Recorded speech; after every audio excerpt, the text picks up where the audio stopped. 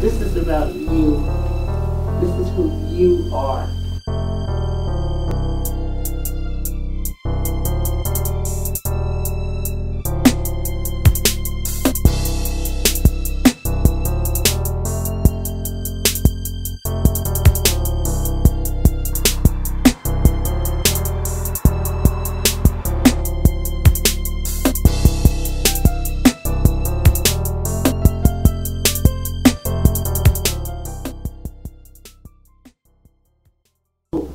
Decided that we'd form the Sandy Ground Historical Society. We had the, the town included in the state and national registers for historic places. We are a program site for the National Underground Railroad Network to Freedom. We've see, received the Mayor's Award for our contribution to culture and, and to history. We have been on CTV uh, several times. We've been on Channel 1, we've been on Channel 2, we've been on Channel 7. Um, we have some pieces that are in the uh, New York Historical Society. They borrowed them from us when we uh, when they set up their uh, children's museum there.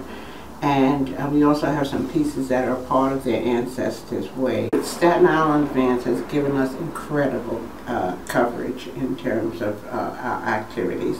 And we see about 3,000 school kids a year. We go out to um, community groups, senior groups, and we make presentations on the history of Sandy Ground. So that I always say that those that don't know about us don't want to know it because we're out there everywhere. And, and because we offer the quilt class to the ladies, we put this quilt exhibit up that talks about wares that people made of the church. Okay? And over here, every year the church has something that they're called, uh, that's called uh, Family Day. And these are the families. Here's the church. These are some of the families that represented descendants of uh, the original settlers. Did something with the waterways with the uh, Noble Museum last night. But anyhow, the baykeepers came to us and they wanted to reseed all the beds again. And since we're probably the only living uh, oyster-based community on Staten Island, uh, they came to us and um, this young man here, he went down and he um, he put, um, they gave us a oyster basket with oysters in it, and he put it in the water down in Tottenville, and he went every week and he measured to see if the oysters were growing. The point was, was the waters clean enough for the oysters to grow? And sure enough, they did. So then they took us out on a boat out by the Statue of Liberty, and we threw the first ceremonial, first uh, group of oyster shells into the water. The question is, did the oil, and this is the basket that we use to do that. Okay, that's an original uh, oyster basket. And um, the thing, uh, the thing is that yes, they did grow, but you still couldn't eat them. Still couldn't eat them. So I know that there's some activities going on now uh, with the baykeepers and the harbor school where they're going to want to re-see re, um, the beds again. And we'll be in touch with them, and we certainly will be willing. This is our brochure that tells about us, and this is the uh, brochure on this exhibit. Now, as we go into the next room, is of course, this exhibit is called uh, Binding Ancestry, and it's quilts made by our uh, the people who participated in our quilt classes. Quilts were always a very important part of uh, the Civil War, a part of the African American community.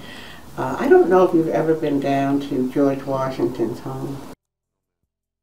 Well, in a room about this size, they have living quarters for three families.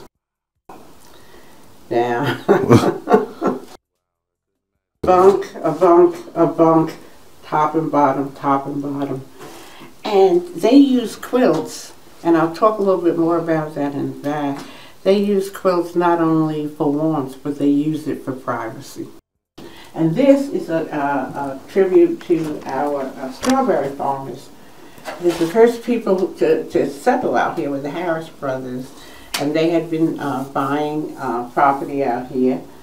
And they came out and they found out that the, sa- the soil was sandy. And that is where the name sandy ground comes Wow. from. Okay. So I always tell the children if life deals you lemons, you make lemonade. Okay? They had sandy soil, they had to find a product that worked well in sandy soil. And that they did. And that product was strawberries. So they were said to have introduced the strawberry crop to Staten Island. And they were smart, those two brothers were smart. They took their own uh, uh, product to market because there used to be boats that come around that would buy your product. They did away with the middleman and uh, they took the strawberries to market and they became, you know, fairly well off through that. They had grew up, they had lots of uh, property out here and other people began to move in. So the first ones were the strawberry farmers. Then the oystermen came, okay, and the community continued to grow. Bishop Forge, and you see we have this diorama here of the Bishop Forge, okay.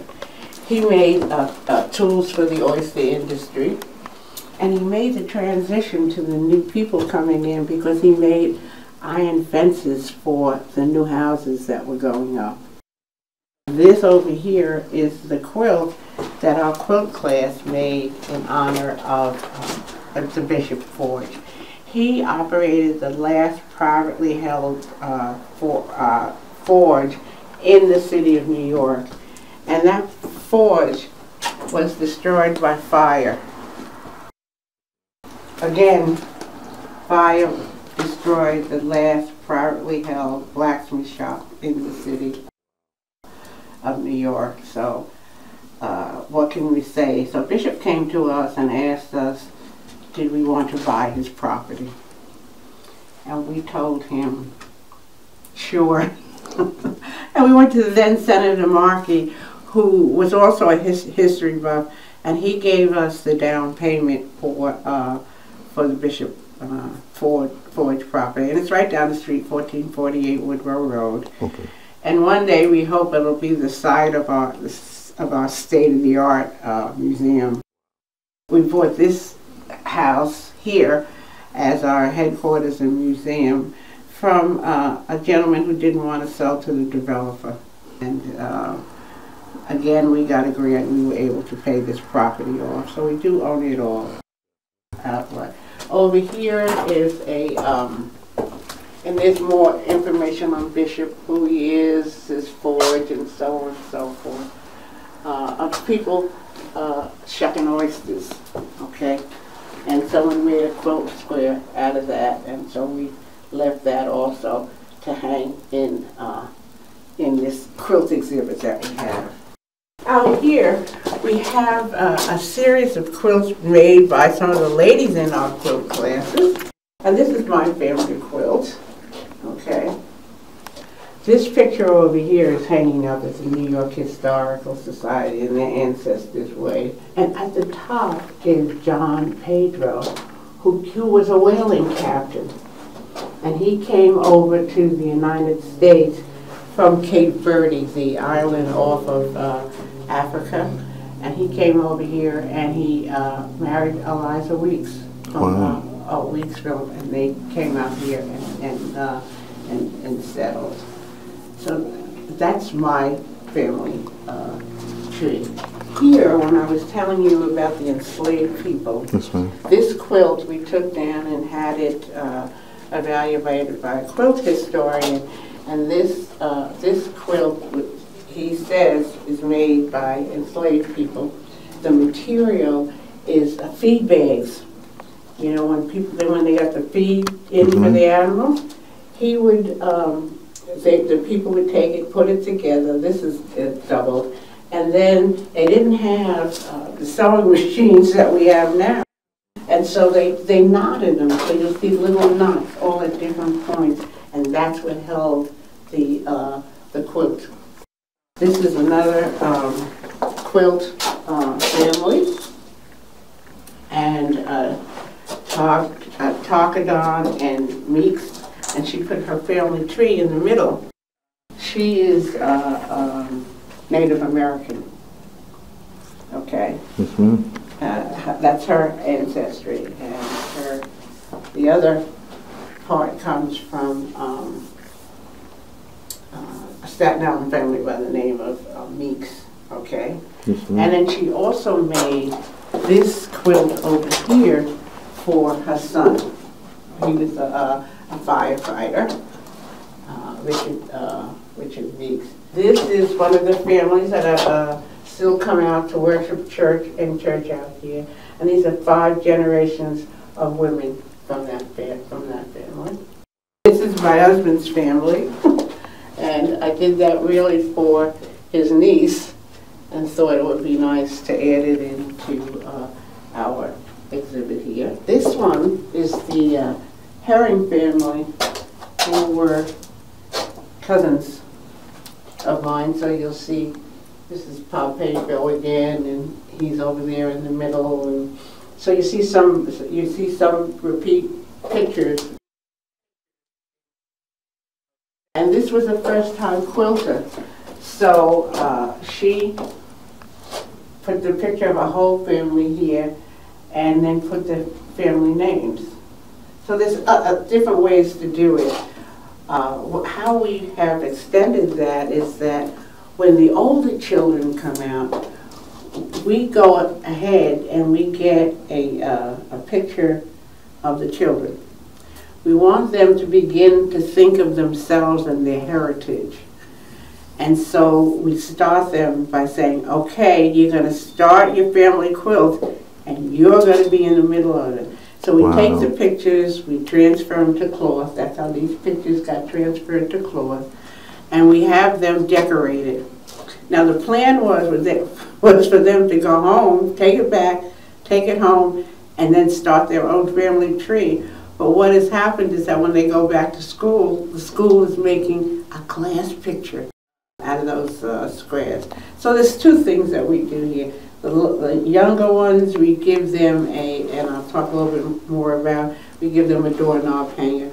And on the doorknob hanger is an abolitionist, and we tell them to decorate that, and that becomes, you know, that's the Underground Railroad uh. For the older children, fourth and fifth grade, we have them begin their family uh, tree. This, again, it was done by somebody in our class, and um, so you can see it's an art, for- it can be an art form, or it can be a story quilt.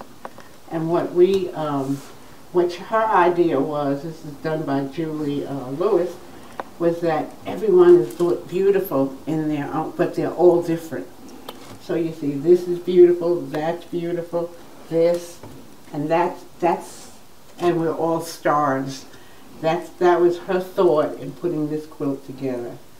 This is a quilt, again, that was done by the class, and it's African American history in that it shows various stages of uh, President Obama when he, his inaugural, his family, and so on and so forth. Very important part of African American history. And um, what this is, is a map of the structures that are still left in the community. We got pictures of the uh, houses, and you'll see that all of these houses and buildings are still left in the community. This is the museum, and we have, the here's the church over here, and these other houses that are scattered throughout everything else that is there. And over here is a picture of uh, my grandfather and his mother. And how do we find it? My daughter uh, was particularly attached to uh, Pop Pedro, who was in fact the town mayor and lived to be 106 years old with all of his faculties. And she, she said, Grandpa, what do you got in that closet? He said, she, he said, oh, just some stuff. She said, could I see it? Ah, finally, by her asking him over and over again, he allowed her to go in. And she found these pictures of him when he was 21 and that is his, uh, that's his mother.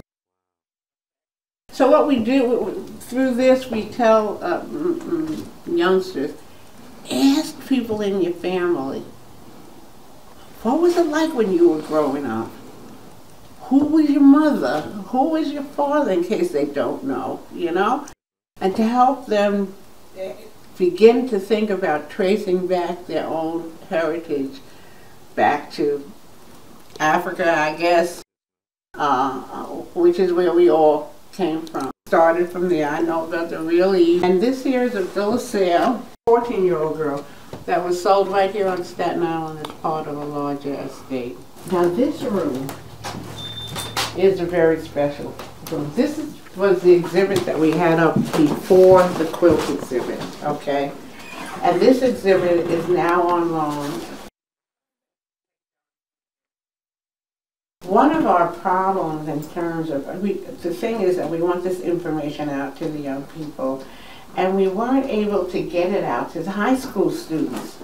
They didn't have the, um, they didn't have, they, they didn't have one teacher, you see, because one teacher brings the class out here. They, they take, they have several teachers and several classes over the course of the day.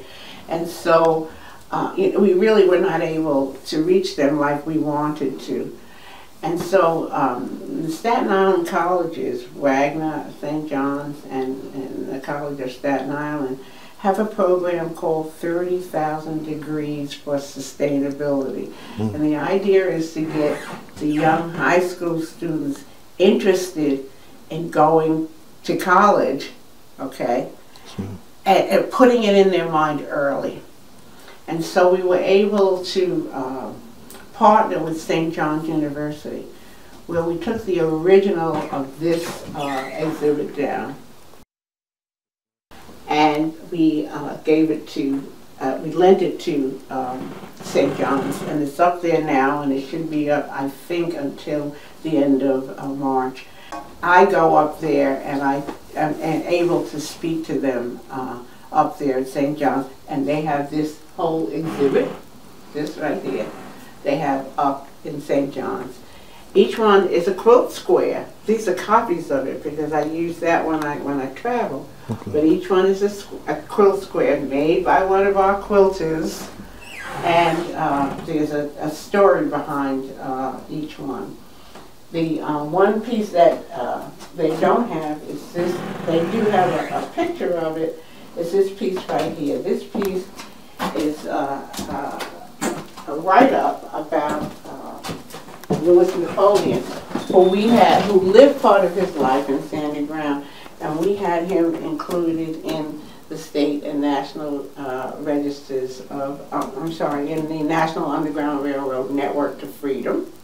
And this is a quote square of his house. Now, each one of these are quote squares. Amazing thing about Louis Napoleon is that, you know, the um, uh, National uh, Anti-Slavery Society, U.S. Anti-Slavery Society noticed him.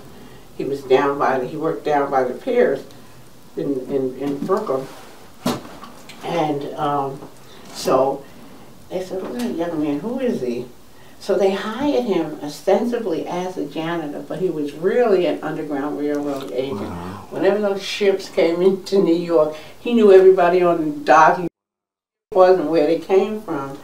And um, he was able to, um, if somebody came in, there was a, a, a gentleman who, who had um, escaped from Georgia and came into New York and the captain found him.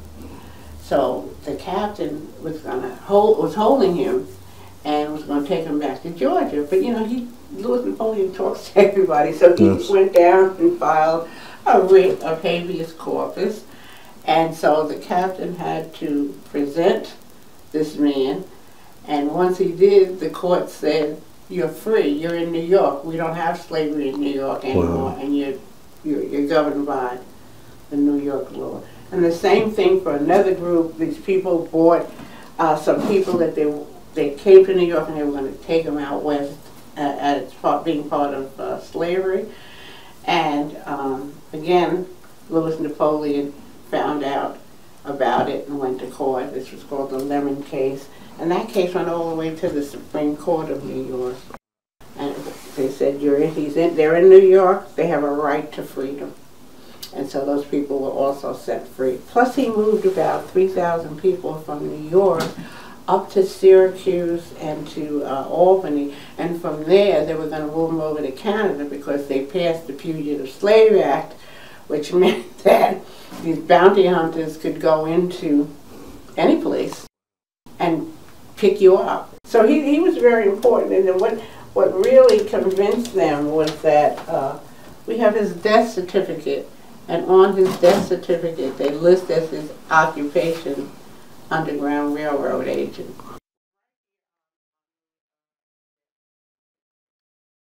And this, uh, again, over here, we have the symbols of the, supposedly the symbols of the Underground Railroad. This one is supposed to uh, represent the bear's paws. If you saw bear's paws, it, it's, it's supposedly people hung these uh, quilts out for people going by to see, people who, are, who knew the Underground Railroad. And this is the Flying Geese. And they would turn it, fold it in a way that pointed north. Because remember, wow. they ain't going with a GPS. They're not going with a compass. There's also one that's supposed to be uh, follow the drinking gourd. And These are all parts of the symbols of the Underground Railroad that people use to uh, help to find their way.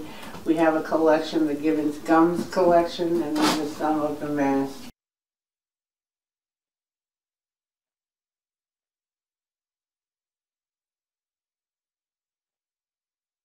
And this piece, again, something that was made by uh, one of our quilters, and again as a work of art. And we like to show that also because depending on what mood you're in, you could have that or you could have this. That's amazing. Yeah, it's the back, the back piece. You can make a quilt. That it could be plain on the back, or you could have something else so that you could turn it around. And of course, we, like I said, we've been on, on channel seven. We've been on channel two. We have our own film called The Sandygram that uh, we show to the children uh, here. And um, we think they leave there, we know that, and we emphasize that Staten Island offered a safe place for African Americans to come and to build a community, okay? And that place was right out here in the South Shore of Staten Island. And given the opportunity, that's what they did. 180 families, two churches, two schools, their own businesses. It's a very positive story about uh, African American free uh, freedmen's lives, and a positive story about Staten Island. And uh, we're very glad to have the opportunity to uh, tell it. We've expanded some. We've had the uh, Harlem Children's Zone uh, children out. We've had a couple of schools out from Queens, a couple of schools out from Brooklyn. So the word is beginning to really uh, uh, uh spread around, you know. Yes. And we're really pleased to have um, uh, Staten Island Cable out to uh, do a piece on us. You see, we celebrate Black History Month all year round. So we don't have a specific program for Black History Month because okay. we celebrate it all, all year round. This is about you. This is who you are.